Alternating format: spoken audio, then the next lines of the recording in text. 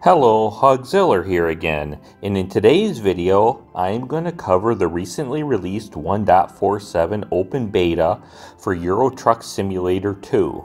I will cover what is included, along with a few personal opinion tidbits on what I think on each of the changes.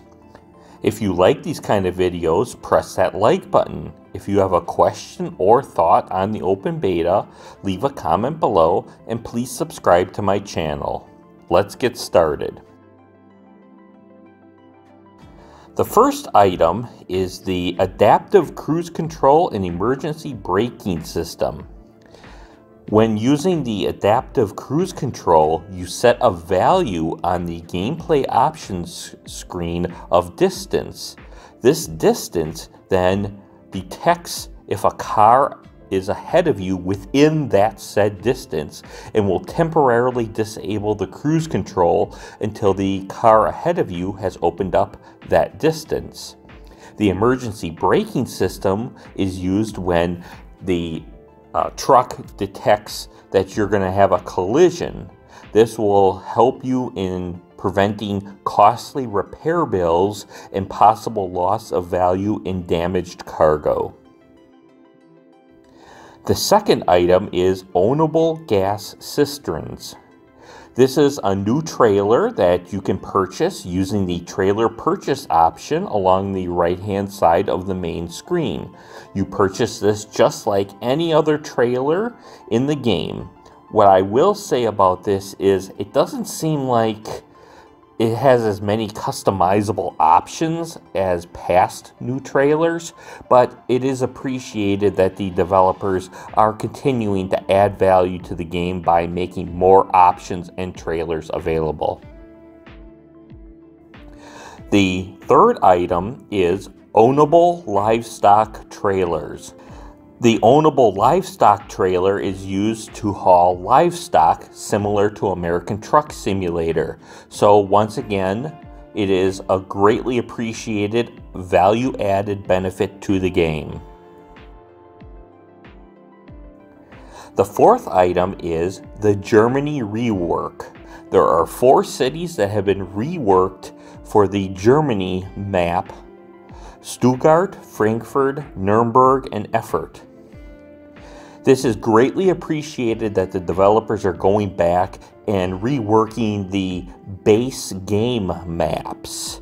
Most other companies might just put out the base game and put out some DLCs to grab some quick cash, but they'll never go back and update the base game unless it's absolutely necessary.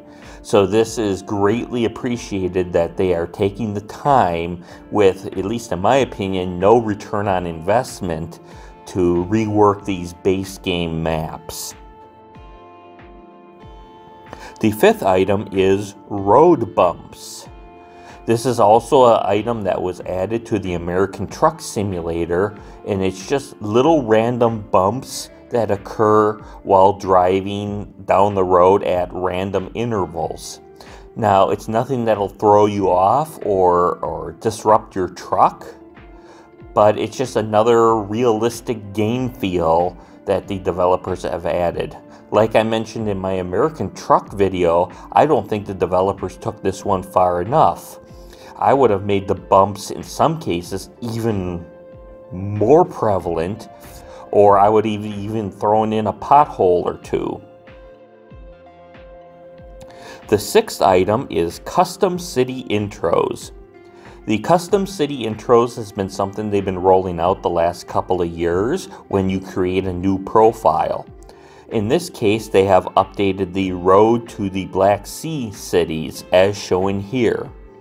It is greatly appreciated that they're taking time to make all the cities look good, especially when you're starting a new profile. The seventh item is the career history redesign. In my opinion, like I mentioned for American Truck Simulator, this is something that was in dire need of a definite refresh. So now you will have all your stats for your company on one screen.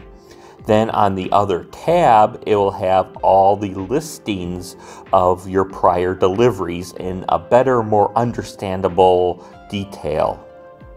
This is especially useful when trying to complete achievements and you might have partially started it on purpose or accidentally and you're trying to assess which requirements you've previously completed.